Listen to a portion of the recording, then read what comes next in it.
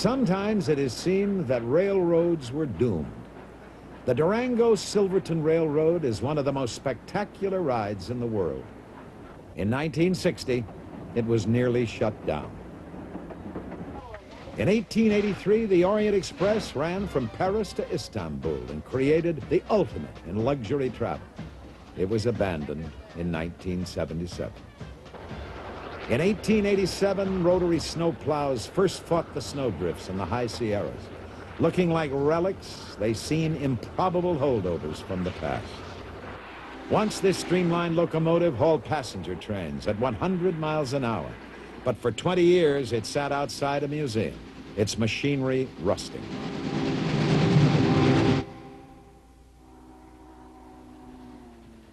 Yet today, these trains still run the rails.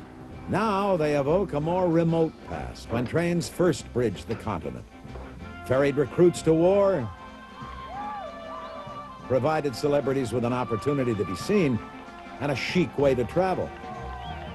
Gave a mobile campaign platform to politicians and offered a refuge for hobos. Train tracks disfigure the countryside. Trains assault the senses with brutal noise and begrind the air. How then account for the multitude of people who love trains? You're actually running a train. You, you just can't get enough.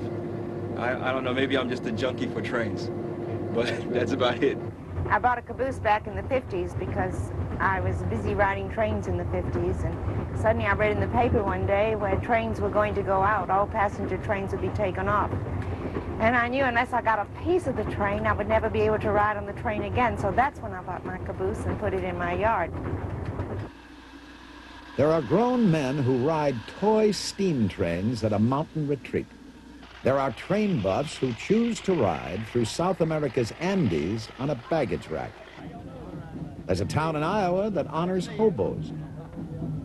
And there are thousands of young people competing for the chance to engineer a train. These are people who hearken to the lonesome whistleblowing and the clickety-clack of wheels on rails. Theirs is a worldwide fraternity with no membership requirements beyond sharing in the love of trains.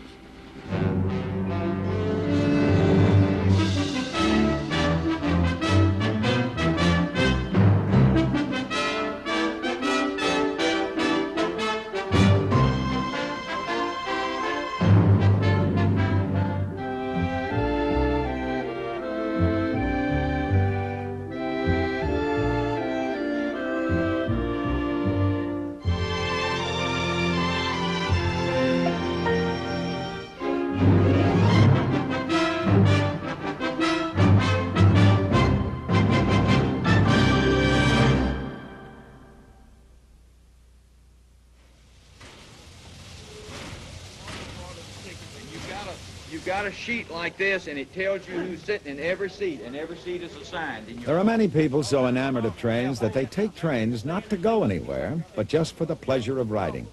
Each year, the North Alabama Railroad Club sponsors an all-day excursion on a Norfolk Southern steam train. Seats are always sold out, and there's even competition for a chance to work on the engine. Bill Hayslip is a deputy sheriff, and he loves trains so much that he volunteers on his day off for the dirtiest job in railroading, apprentice fireman. I've studied steam engines just about all my life. I guess I was born about 30 or 40 years too late. There's something about a steam locomotive, railroads, it's just romantic. The steam engine kind of has its own personality. It's like a, like a lady. You have to treat it just right. Well, it's just a page out of the past. Something I seen when I was a kid. Once you get used to anything, you always like to see it again. If we hadn't had them during World War II, we'd have been up the creek without a paddle.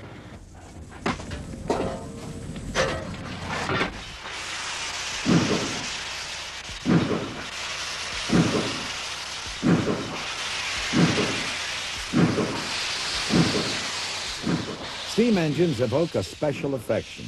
Though inanimate objects of iron and steel, they seem to breathe with the fire of life. This day, the train will run to Chattanooga, Tennessee, evoking cherished memories of a popular song. Pardon me, boys. Is that the Chattanooga Choo Choo? Yes, sir. Track 29. Boy, you can give me a shine. Afford to board the Chattanooga Choo Choo? I got my fare and just a trifle to spare. There's gonna be a certain party at the station, satin and lace. I used to call funny face. She's gonna cry until I tell her that I'll never. So Chattanooga choo choo, won't you choo choo me home? Take me home. I've often wondered if I was maybe one of those few people that had trains in my blood or something, you know. Some people have alcohol, I have trains. And I spend all day in Birmingham just to see the two trains go through town. My wife thinks that's crazy, but you know, it's a thrill for me. It's the most consoling, soothing, wonderful, inspiring type of music that you can ever hear. Well, I've been on trains all over the world, and I've watched them, I've seen this. It's a, it's sort of a indefinable uh, love, I guess, but you find it from kings down to the common man. Partway through the trip, the train comes to a stop in an open field. Now begins the prized ritual of the steam train excursion. The train backs up, cameras are ready. And then a sweet symphony for every train buff's ear.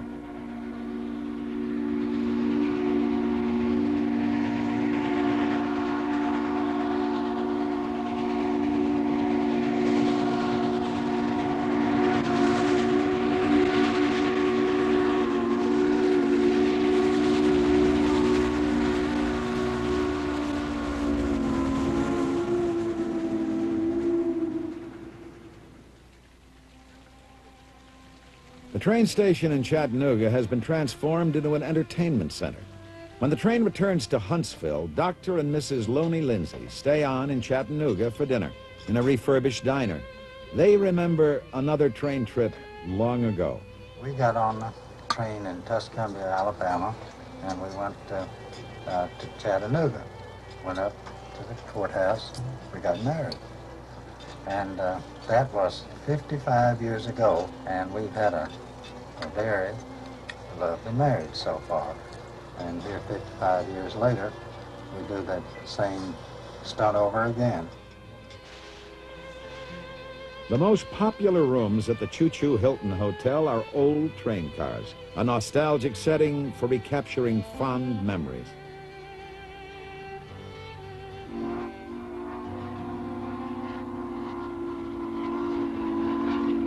For those who love to ride steam trains, each trip is a journey into the past. In the beginning, steam engines were at the center of the Industrial Revolution, which could not even begin until mankind learned one crucial trick, how to transform heat energy into motion. In the first century AD, the Greek scholar Hero of Alexandria invented steam jet propulsion. Hero's ingenious device remained a toy until 1712, when Thomas Newcomen developed the first successful steam engine. Newcomen's engine was used to pump water out of coal mines. 100 years passed before the first British-built steam locomotives took to the rails. Soon the public everywhere crossed the threshold of a new age as horses were replaced by the latest locomotive invention. Today, these early engines can usually be seen only at museums, where they seem as distant as dinosaurs. The John Bull is the oldest operable steam engine in the world. To mark the 150th anniversary of its first American trial, the Smithsonian Institution brought it out for a run along the Chesapeake and Ohio Canal. People who love trains dressed up for the occasion and gathered from miles around. Many had never heard the hoot of a steam whistle or the screech of brakes.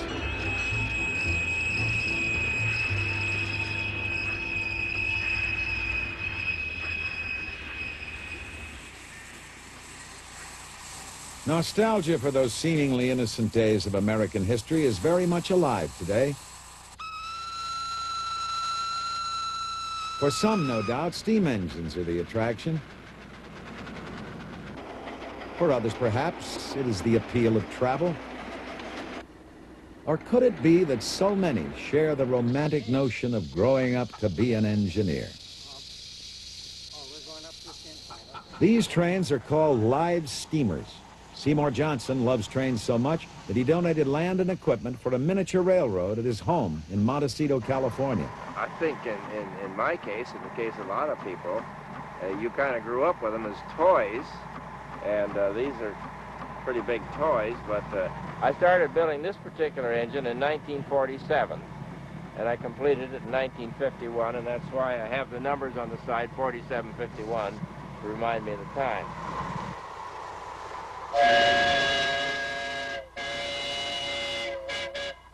Johnson and the local members of the Goleta Valley Railroad Club spent 17 years building their line. Today, they test their engines on more than a mile of track.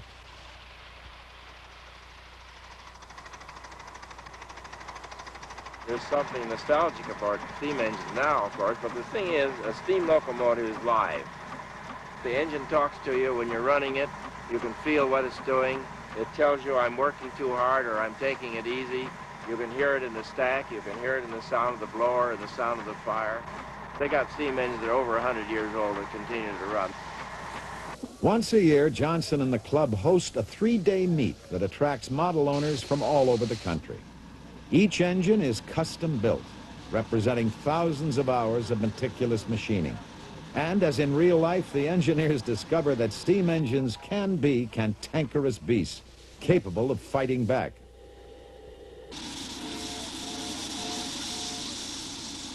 Well, this is a two and a half inch scale, narrow gauge locomotive built to run on seven and one half inch track. We're trying to duplicate exactly the kind of engine that the Colorado and Southern used back in the years of uh, 1890 through 1936.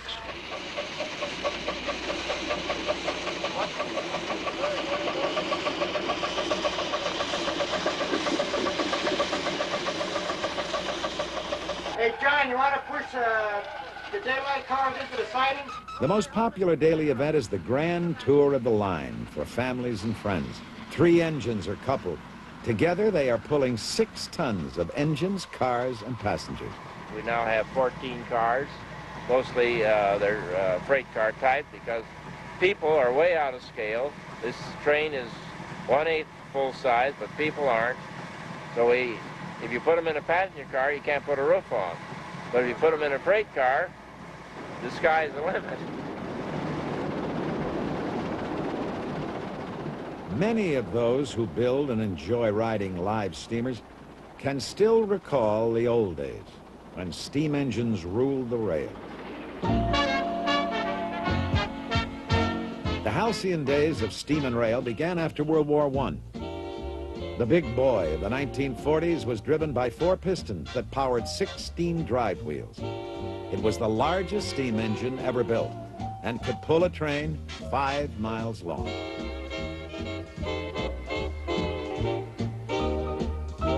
And during World War II, steam engines transporting the freight, weapons, and troops to the seacoast made possible the fast buildup of America's war machine. In the 1950s, steam gave way to diesel, and rail companies competing for passengers promoted streamliners as the chic way to travel.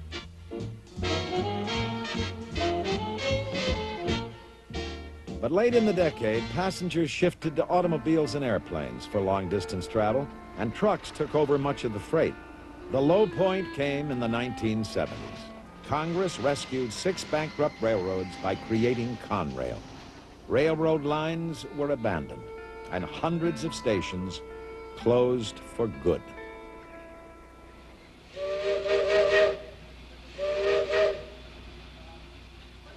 Although Americans seem to lose interest in passenger train travel, some countries maintained their trains as national treasures. The narrow-gauge Guayaquil and Quito Railway in Ecuador plays a vital part in national life. People here use the railroad like a party line. It even serves as a food market on wheels.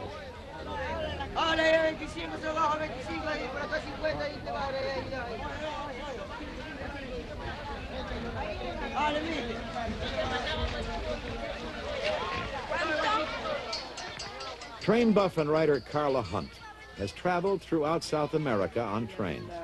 The Guayaquil to Quito run draws her back as the most exciting in South America. A train buff's dream, an American-built Baldwin engine, a relic from 1900, begins a two-day climb from sea level to over 11,000 feet in the Andes. Passengers have a choice of three classes. Second class costs $1.60. First class cars sport padded seats for $2.10. And local vendors offer lunch on brown paper.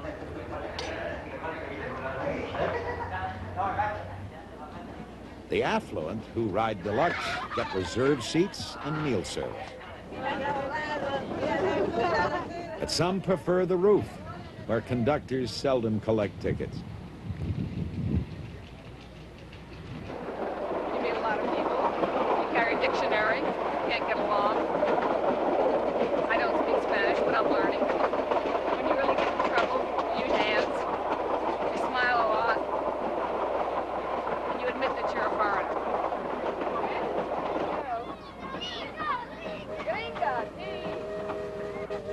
American engineers laid out the route in 1898. It took 10 years to cut the line from the sugarcane fields of the lowlands up over the Andes. When the train going up fails to meet the train coming down at the appointed siding, there's an unscheduled stop for a phone call to find out what happened to the other train. These trains, not only do they carry the people up and down, but they carry the, the mail.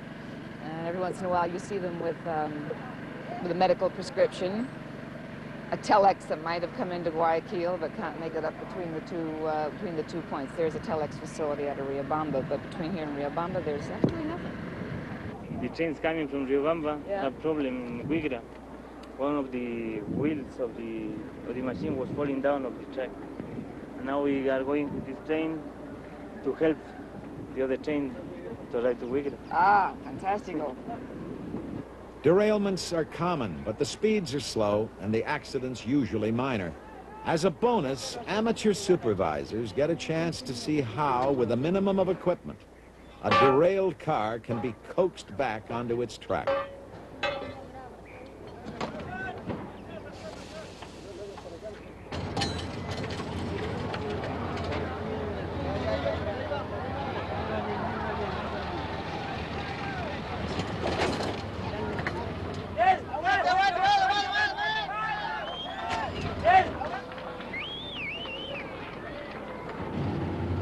After a change of engines, the train climbs into the mountains once again.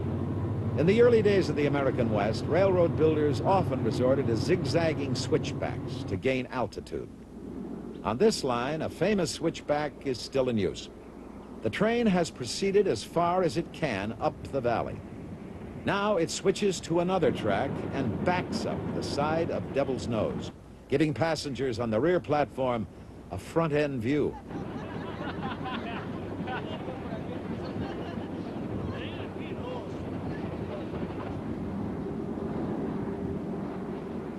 The train backs around the mountain, then switches again to climb higher.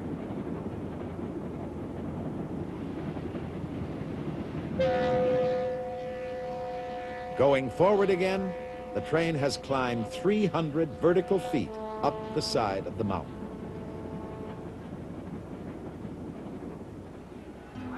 At the end of the first day, the train stops at Riobamba. For Carla Hunt, a visit to the market is a fascinating feature of the trip. People come from miles around to sell and buy.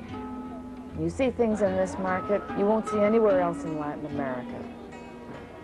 But more than anything else, I like to wander around and look at all those beautiful faces.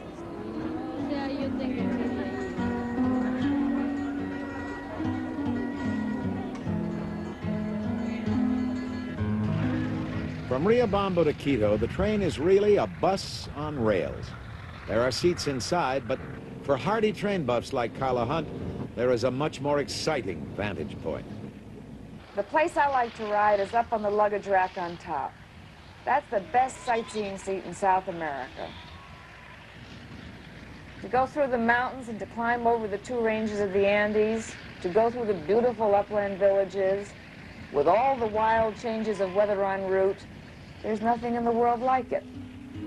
Clouds shroud the peaks of the Andes as the line climbs high through cuts in the mountains and then descends to Ecuador's capital, the Spanish colonial city of Quito, to bring to an end one of the world's most extraordinary train rides.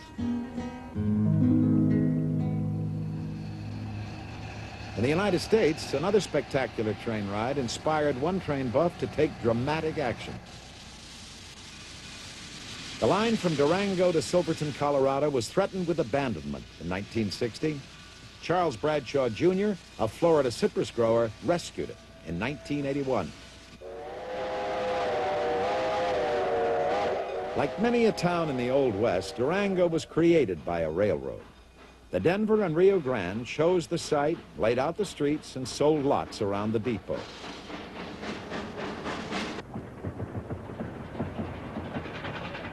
Young people who share Bradshaw's enthusiasm for trains keep it running.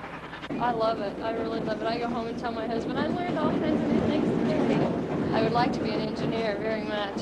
You have to go through all the training, which is pretty physical for a girl. And then you have to also be a fireman, which you shovel six ton of coal a day. I wouldn't want to get out of my limit. I don't think that's right. My father, my grandfather, and my great-grandfather were all railroaders before me. They worked for the Rio Grande, not this particular branch. I was, I'm the first one in the family to work for this branch of the railroad. But, uh, none of them were conductors. They were all in different parts of the railroad, so I'm the first conductor in the family. They have to be pretty responsible people. They're, they can't be ir- irresponsible at all. Aren't you pretty young to be an engineer? I hear that. I hear that about 30 times a day. If I couldn't handle the job, I wouldn't be here. No, let's trade. Let's Listen, cowboy hats are out. Haven't you seen the chicks Let- let really him like try these one. hats? Let him try on at large. I'll bet nobody in your neighborhood would have a hat like that. Don't you think? I'm telling you, you go home and the girls will be lining up at the door. Now that looks handsome on you. That really does. Cowboy hats are out. Engineer hats are in.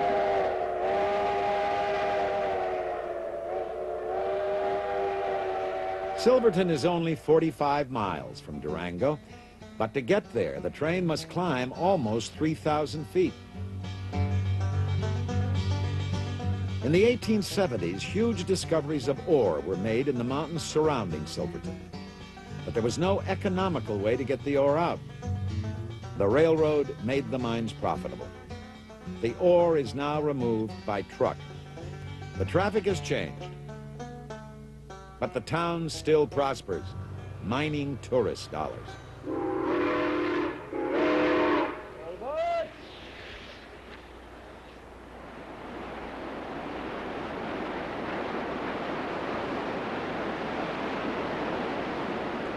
As soon as the route was completed, the drama of the train's traverse of the Animas River Canyon was recognized as one of the great sights of American railroading.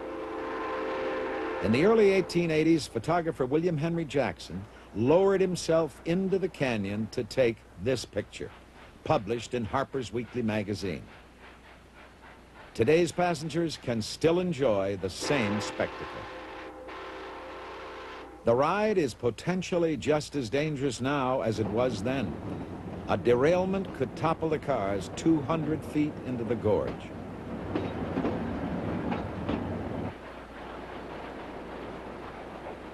An extraordinary train run has been preserved because of the dedication of one man and the delight that more than 100,000 people a year take in supporting the line.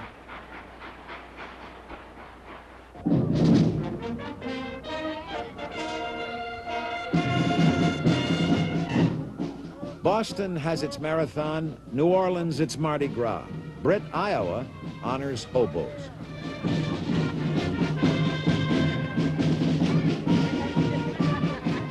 Once a year, this small town invites hobos from all over the country to drop by for a visit. The get-together largely attracts those who have retired from actively riding the rails and can now look back on their former ragtag wanderings with nostalgia. Hobos were not always so honored. Hoboing began during hard times after the Civil War. And in the Great Depression, the desperate once again took to the rails. Sometimes railroad police threw them off moving trains. Others jumped rather than face the reception they received when caught crossing state lines. If we are to protect the public of Southern California from the indigent transient class, they are coming here at this time not for the purpose of securing work, but for the purpose of living on relief, stealing, or begging. Where's your home? Chicago. You ride a freight all the way from Chicago? Yes, sir. Well, you can ride them back too, or any way you can to get back. We're going to see you over the state line. Don't come back to California until you can come in like a man.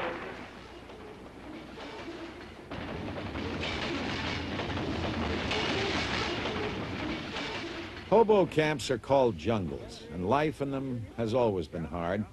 But in Britt, Iowa, the jungle is a place to renew friendships and swap stories.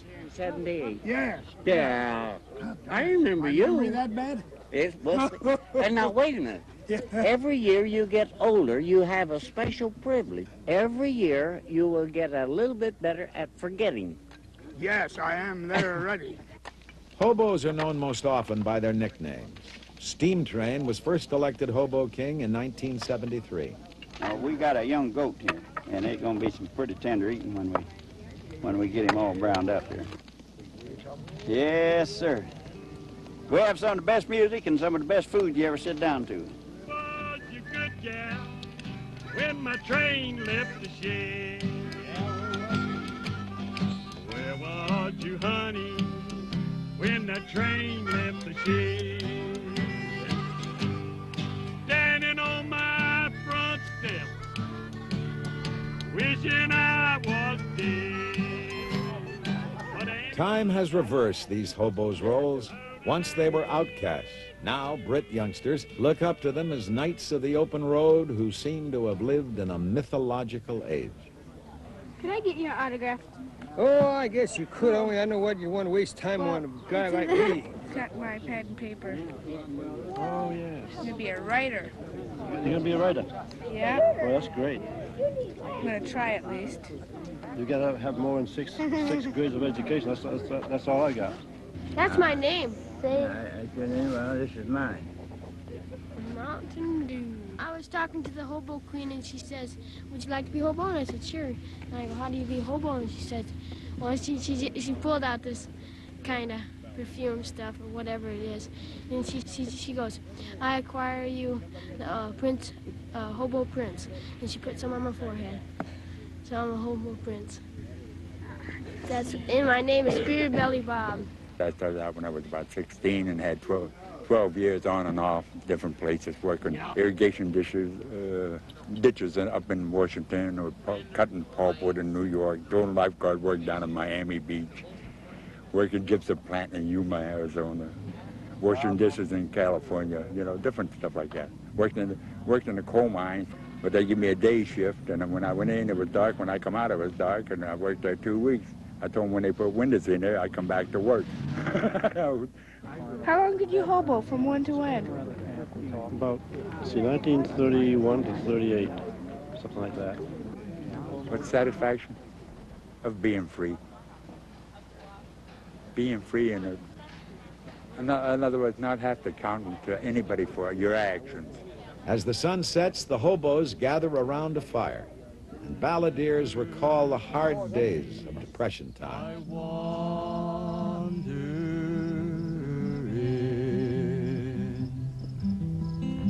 Ashes to ashes, dust unto dust. If the railroad doesn't get you, then the bread lines must. And it looks like I'm never gonna cease my wandering.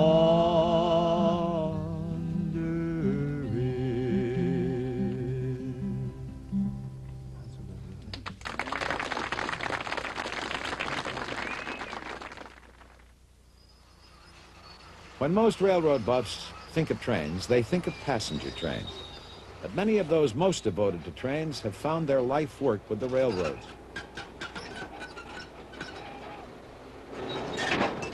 Whether they maintain the tracks or work on the trains themselves, the big business for them is freight, moving everything from coal to lettuce. And although much of the public thinks railroads are a dying industry, in fact, they are thriving. Deregulation has permitted them to abandon money-losing lines, and new techniques, like piggyback hauling of truck trailers and containers, attract new customers. The mass market shipping of fresh produce by rail enables farmers in California to sell lettuce to buyers 3,000 miles away. Lettuce harvesting has become an assembly line operation. Cutter, packer, sprayer, box closer. Uh, today's lettuce that we've got is probably the best we've had in about a week and a half.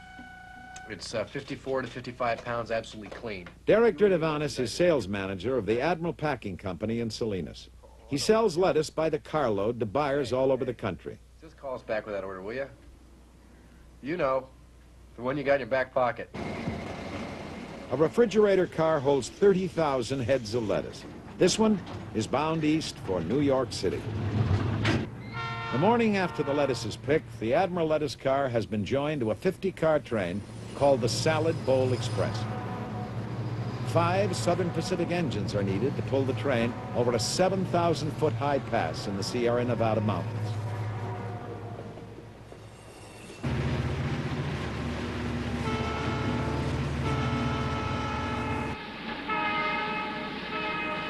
The route climbs toward Donner Pass.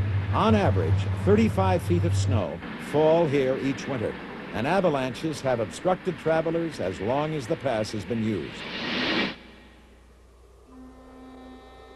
In November 1846, blizzards trapped the emigrant Donner Party here. 35 died of starvation and exposure.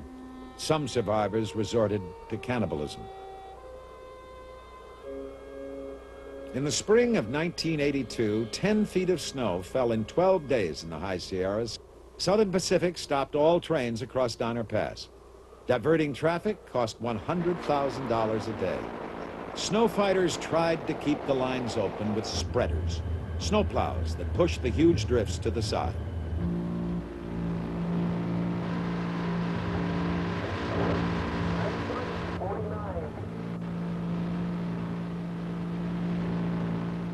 When the snow drifts too deep, spreaders stall and the pushing wings collapse.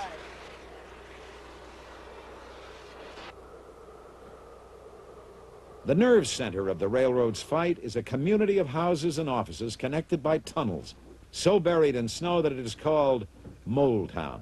Here, a hundred men and women work day and night. That's P. Norton operator. Rotary coming out at 9 o'clock. Get it out of town for us, will you? Up at Norton. Yeah. Make sure that it gets down there and give them a little nudge and get them going, will you? Everything's in the clear of the number Everything's two? in the clear. How about Sandy? Rotary? Rotary's in the clear of the number two? Okay, bring it. Management calls for its ultimate snow fighting machine, rotary plows that can dig through almost any accumulation of snow. Sandy, got light engines being held right now. The uh, rotary is going on down to the other end of the site.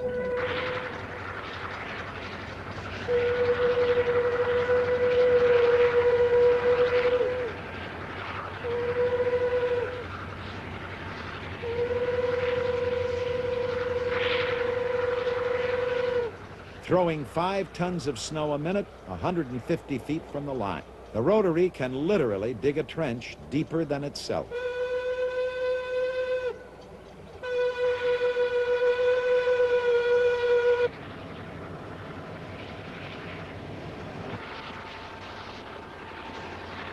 As one rotary chews toward the top of the pass from the west, another struggles up from the east.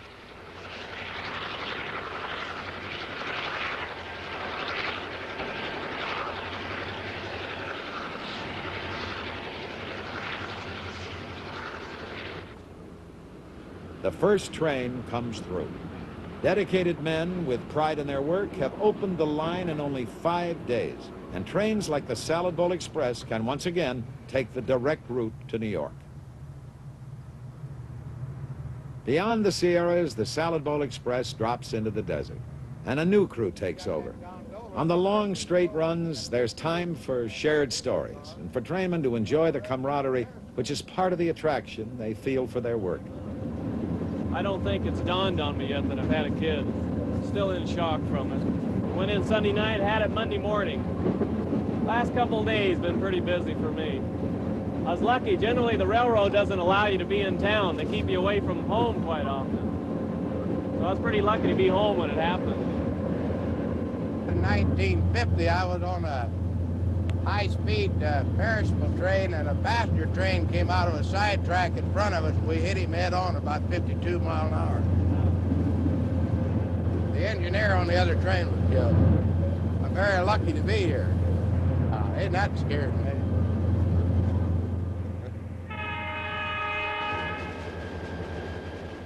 By evening, the train is in eastern Nevada. The next morning, now with a Union Pacific engine and crew, the Salad Bowl Express climbs toward the Continental Divide. Around a curve, Castle Rock, a well-known American landmark, comes into view. The famous photographer A.J. Russell captured this same scene when the Transcontinental Railroad was nearing completion. In 1867, it took three months to cross by wagon from the railheads on the Missouri River to the Pacific coast.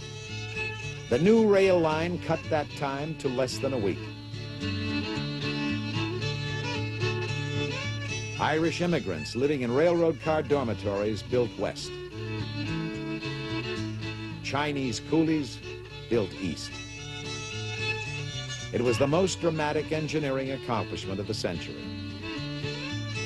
Gorges were spanned, mountains cut through or tunneled under. An army of workers fought summer heat and winter snow at a cost of uncounted lives. There were no movie cameras to record the great undertaking, but once movies were invented, filmmakers recreated the drama in classic film. John Ford's The Iron Horse and Cecil B. DeMille's Union Pacific. Crossing the mountains, the deserts and plains, fighting the heat, the cold and the rain. Summer to autumn, winter to spring. Bring 'em up, lay 'em down, make the hammers ring. Building a new road under the wheel, bind up the earth in iron and steel. Working east, working west, we're building our way on bad food, hard liquor, and a dollar a day. It was a day of national celebration when the two lines met at Promontory, Utah. A.J. Russell recorded the scene in what is perhaps the most famous photograph in American history. And in 1924, when John Ford recreated the scene for his film, he based the action on the photograph, complete with a still photographer to pose the crowd.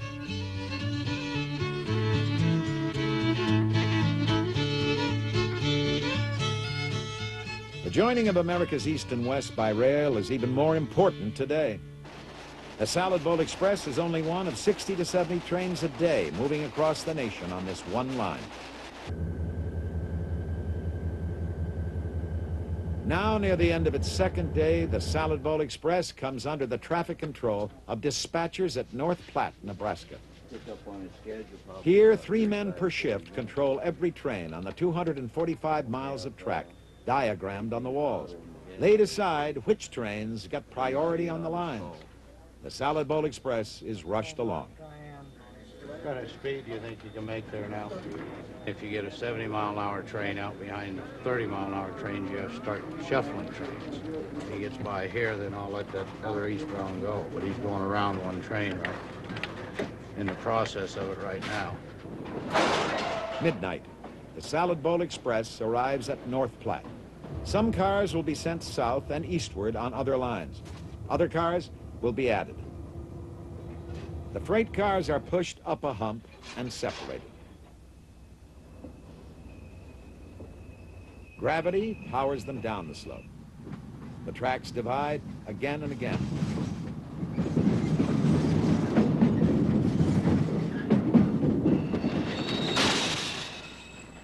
Automatic sensors weigh the cars, and retarders brake them. There are 221 miles of track in the yard, and as many as 5,000 freight cars at a time.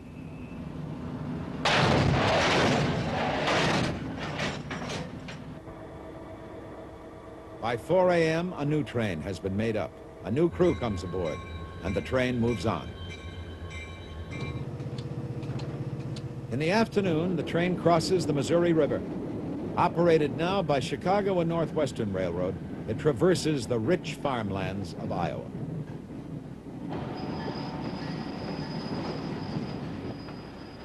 The next morning, the train is in Chicago. Marshalling yards like this one are dangerous places. You have to watch for cars coming from both directions. There could be debris sticking out of a car. Try not to get caught in a situation where you have trains moving at high speed in both directions on each side of you.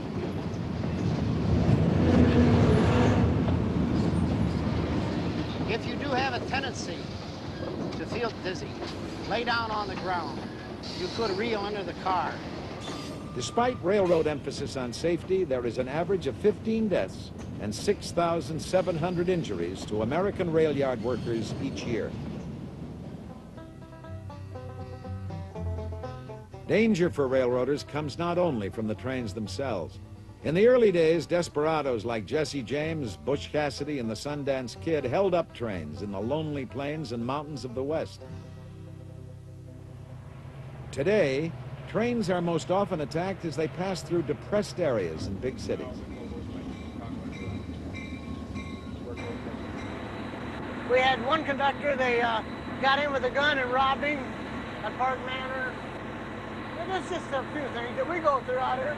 Everybody thinks we got such a swell job. We have our ups and downs too. And this is our most dangerous spot of the trip. They put different articles in the tracks to derail us. They uh, put old truck tires so they'll break the air hoses in two.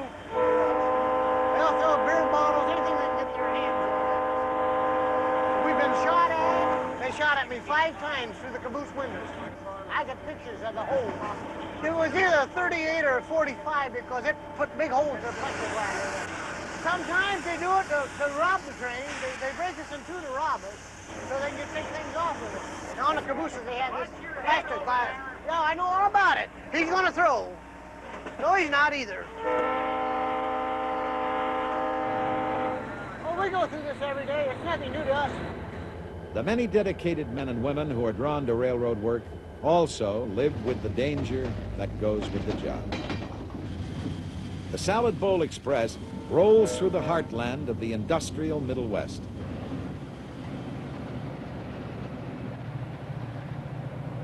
On the fifth morning, the train parallels the Mohawk River. Now under Conrail control, it follows the same route taken in 1825 by the Erie Canal.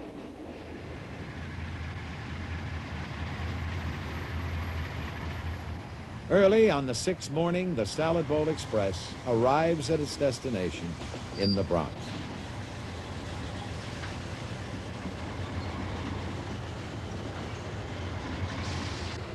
Oh, Mongo, Mongo, one, two, three. I'm gonna climb the Mongo tree. Mongo, Mongo. Ten carloads of produce are unloaded at Hunts Point Terminal each day. A carload of lettuce from Salinas has been bought by the Armata family wholesalers who in turn sell to markets and restaurants. Beautiful box of lettuce. And as my father would say, it talks to you. As soon as you open up the box. It has been seven days since the lettuce was picked. It took four railroads and the involvement of a thousand men and women to move it across the country. Half a million people work for the railroads in the United States. In one sense, theirs is just a job, but it is an essential job moving the grain, steel, coal, automobiles, perishables, even the lettuce for a PTA luncheon in Baldwin, Long Island. Traditionally, little boys were given model trains for Christmas, and captured by a dream, many grew up wanting to become an engineer. The reality today is not far different. For a new class of 23 engineers, the Long Island Railroad had 2,000 applicants to choose from. To get the train moving, I need the reverser and forward. This position. This is your throttle. Power 1 to 8 notch. Right, one whistle. Dave Decker, senior instructor, has been an engineer for 14 years. Decker loves engineering and teaching, but the memory of train accidents in his past brings a special urgency to his teaching. Engineering used to be a man's job, but federal affirmative action guidelines give Vita Zamboli, a former secretary, an extraordinary opportunity to join an elite group of railroad employees. I can teach an engineer how to make the proper brake application and accelerate, decelerate. That's the easy part. My most difficult responsibility is to instill into an upcoming engineer that they have monumental responsibilities. There is no margin for error. Not when you're dealing with 1,600 people behind you. Hopefully, I can bring this across to these upcoming engineers. Are You relaxed? Little damp. All right. That's good. That means you got guts. If you're not nervous in here, there's something wrong.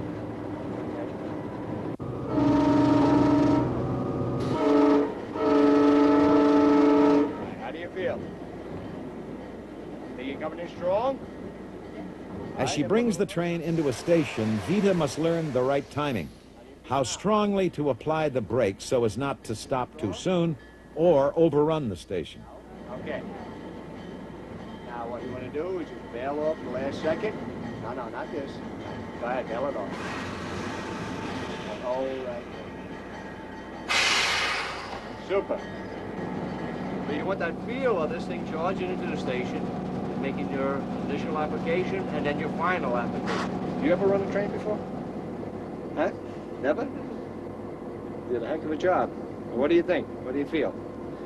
Feel that this It is going to be your, exciting. It it's going to be your occupation or what? Yes. Yes. I'm sure it's going to take a while, but I will get the feeling of bringing a train in. But there are going to be times in your career when you're going to run across a grade crossing accident. Traveling along at 65, a car comes around the gate or through the gates. It's not a thing you can do. You hope you give pre-warning or a warning whistle and a warning bell before you get to that crossing or ample. You'll, you'll search your soul to know whether you did it or not. It's not just the glory of running over the road and say, I always wanted to be an engineer. Now I have that, is that you have to take that responsibility. If her engineering career follows the norm, Vita will face 500,000 road crossings in the next 25 years. If she is never involved in an accident, passengers who ride her trains will have no reason to learn her name.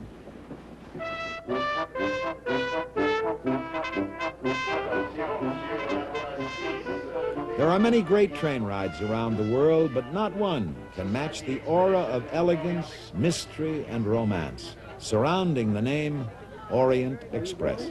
It ran for almost a century until its demise in 1977. Now, two men have revived the historic run to Istanbul. Albert Glott bought the 1920s vintage cars and lovingly refurbished them. Sometimes, you know, you have to do everything on the train. T.C. Swartz chartered the cars for those who could afford to recapture the glory of rail travel in its heyday. we could give them and then how to surpass it. People's idea of luxury is a little bit different than maybe what it actually was. So what we're trying to do now is, is to give them more luxury than they had in the past, in fact, to make it the ultimate trip. I can't believe it. Oh, it's marvelous. There will be 98 passengers on this trip, each paying a modest $5,000 one way. I think the dogs are great. Yeah, but I can't see them sitting in the dining car. Some passengers, like actor Hal Linden and his wife, stage an arrival in the grand tradition, harking back to the aura of a princely trip. Original inlaid wood decorations and Lalique molded glass reliefs still decorate the cars. Names of the countries the Orient Express passes through Austria, Hungary, Romania, Bulgaria ring with romance. Memories of mysteries like Murder on the Orient Express surround the passengers with an atmosphere of champagne and dreams. Well, my name is Otto, and I'm supposed to play the piano all the way to Istanbul.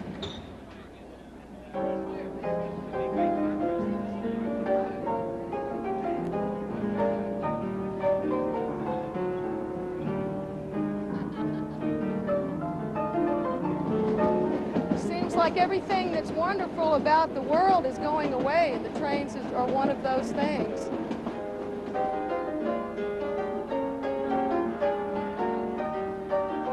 Kim Vosper and Kyle Collins advanced the date of their wedding so they could make this their first trip together as a married couple.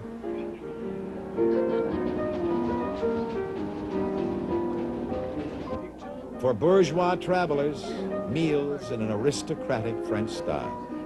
The ultimate temptation for those who count calories.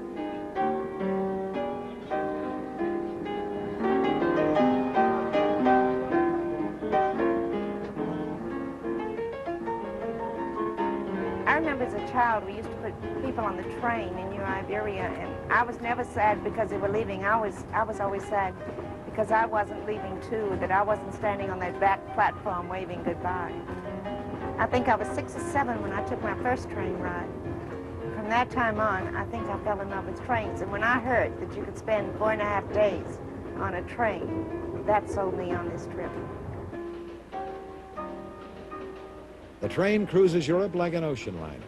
Gypsies play, as they did on the first run of the Orient Express. In the evenings, there are gala seven-course dinners. And occasionally, the train waits as passengers are bussed to the entertainment. A champagne tasting at the 150-year-old cave of Mum's Winery in France. And just as on its maiden voyage, there is a festive reception in Budapest.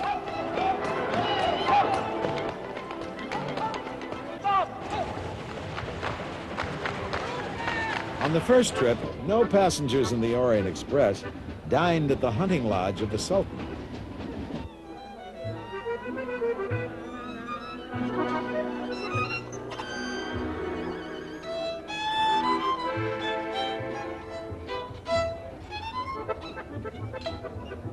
It is an express journey to the sun.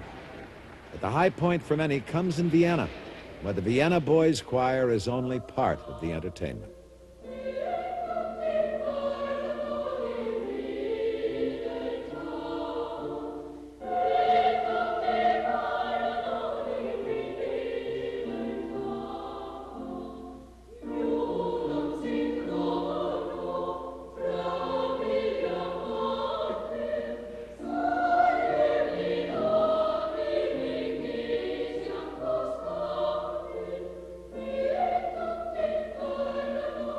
Protocol prevented the Austrian royal family from receiving plebeian passengers of the first Orient Express.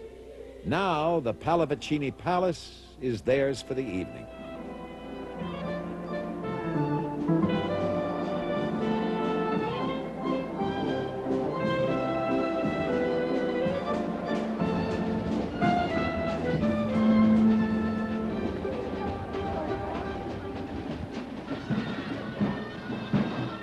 Finally, the end of the line, Istanbul, Turkey, where passengers get the red carpet treatment, Oriental style.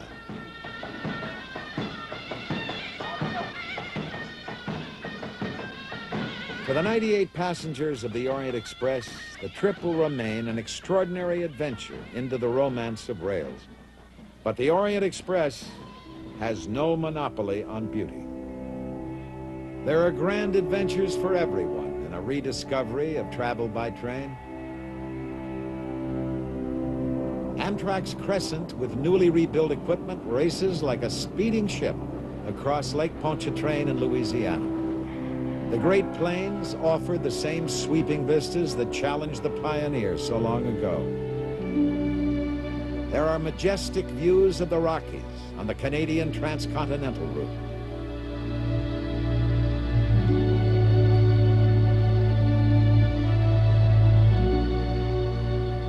San Diegan is a beachcomber from Los Angeles to San Diego.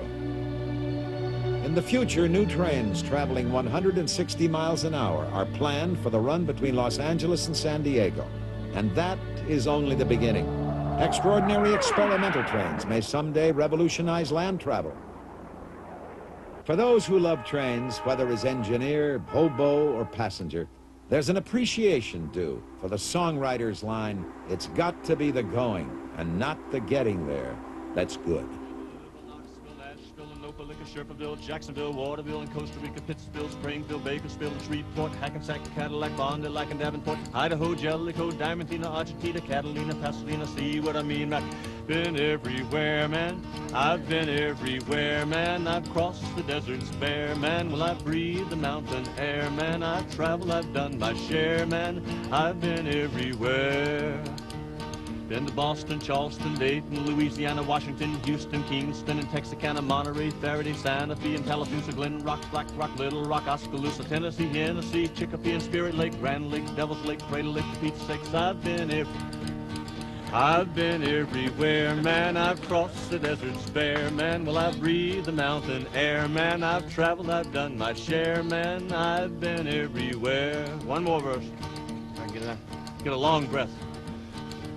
I've been to Pittsburgh, Parkersburg, Gravelsburg, Colorado, Ellensburg, Rexburg, Vicksburg, and Eldorado, Larimore, Atmore, Haverstraw, Chattanooga, Chester, Nebraska, Alaska, Opelika, Baraboo, Waterloo, Kalamazoo, and Kansas City, Sioux City, Dodge City, Cedar City. What a pity I've been everywhere, man. I've been everywhere, man. I've been everywhere, man. Well, I've breathed the mountain air, man. I've traveled, I've done my share, man. I know someplace you haven't been, and he says, I've been everywhere. So,